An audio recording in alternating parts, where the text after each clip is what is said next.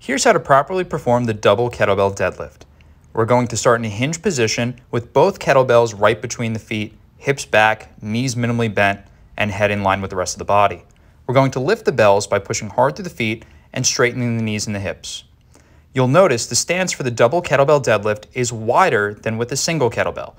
We need to go ahead and create space between the thighs in order to go ahead and lift the bells up in a straight line.